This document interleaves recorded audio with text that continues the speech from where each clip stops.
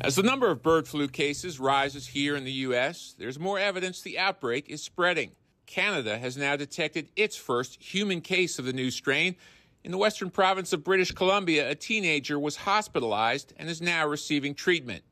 Officials there say the teen likely caught the virus from a bird or some other animal, meaning this strain could be mutating. Flu has a way that it can change and mix and match parts uh, with other flu strains that are around. And so some of those uh, different versions have resulted in, in different health outcomes for various species. It comes after the CDC warned the virus is spreading more quickly than previously thought among farm workers here in the U.S., especially those working with cattle. Federal health officials are urging more testing, while at the same time insisting there is no risk to the American food supply. Pasteurization is going to kill the virus. And so people don't have to feel uncomfortable about their milk or um, their food being unsafe. But the outbreak is having an effect on prices. And as we get closer to the Thanksgiving holiday, Americans can expect to spend a lot more on turkeys,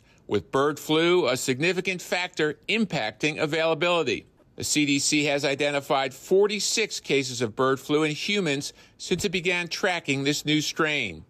In Atlanta, Steve Harrigan, Fox News.